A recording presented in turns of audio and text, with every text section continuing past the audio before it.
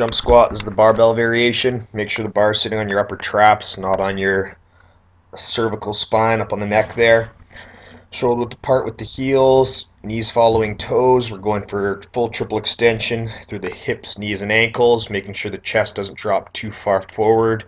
Nice soft landings every repetition.